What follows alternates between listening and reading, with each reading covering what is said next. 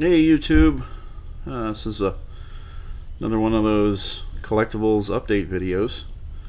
Here we have uh, 1960s, late 1960s, 1970s uh, soda cans. Here we have one by a company called Gala. It's a draft root beer can.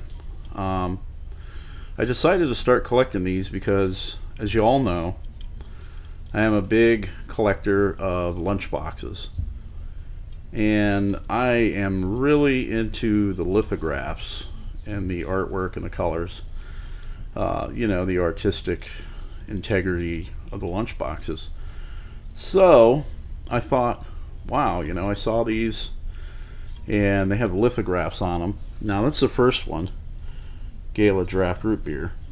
We're going to go on to the next one. This is another one. This is a grape soda can uh, from Sunset Valley, or was it no Sweet Valley, rather. Um, uh, it's got the pull tab. Uh, there's the bottom of the can. Um, these are really neat though, and uh, like I said, the lithograph, you know, is similar to that of the lunchbox or the paint that's on it. I'm not sure if it's paint or if it's a lithograph. Maybe somebody can help me with that. What was really cool about these is uh, this is actually a bicentennial commemorative. Um, 1776 to 1976 uh, Graf's cola. What was really cool about these is they would put historical facts, uh, great American inventors, on the back of the can. So you get all these really great facts about like American history um, and that type of thing. And uh, I'm not even really sure if I don't think these companies are still in business. Uh, this one's from a company called Graf's Cola. Um, next one, yeah, is another Graf's. This is a Graf's root beer, sugar-free root beer. I'm taking that that most of these are probably from the mid, like early to mid 70s. Um, but uh, they're really cool. It kind of gives you a glimpse into the past of uh, of the uh, you know the soda can, um, the way they the way they used to look, and you know kind of like I mean everybody knows what they look like now, but it gives you an idea of what they had looked like before. Right, on to the next one. Next one we have here is a Mark Company orange soda can. Um, and uh, that one's got a little bit of rust, but still pretty cool nonetheless. Um, I'm thinking that might be like late 60s maybe. Um, all right, on to the next one. This is another Graf's.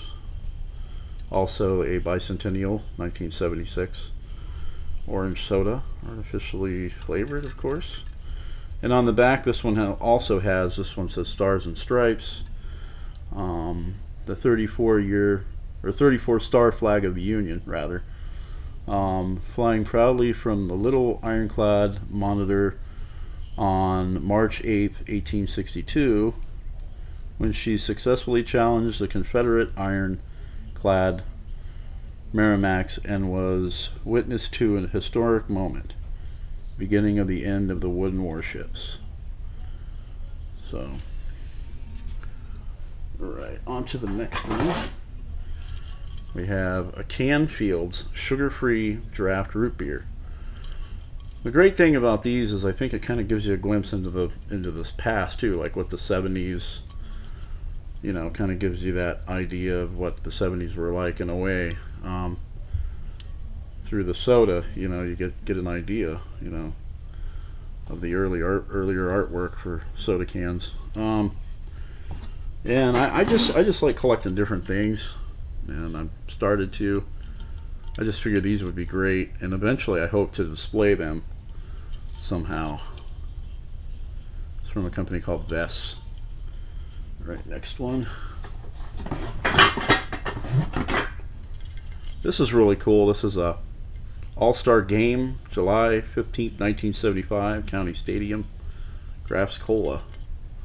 Um, Milwaukee Brewers, uh, National League versus American League. And uh, it's just really cool. It's got just just screams American Americana really. Um, all right, on to the next one. Uh, this one, this one is actually um, is a '60s can. This is from Ideal Company, black cherry soda uh, with other natural flavors. This is what they call a flat flat top can, um, where it doesn't have the pull tab. As you can see, they open the bottom to get the soda or the liquid out. Um, but yeah, this is really cool. Uh,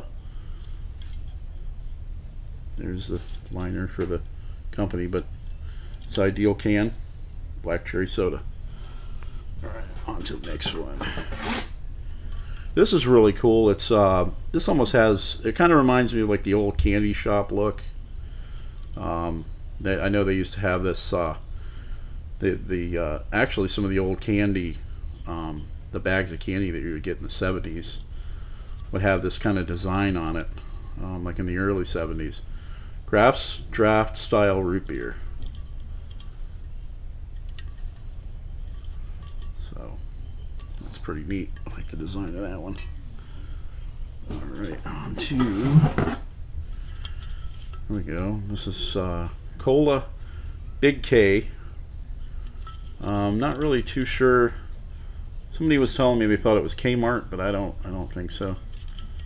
I'm not really sure if I don't think they had Big K in the 70s. But uh, anyway, there's that one.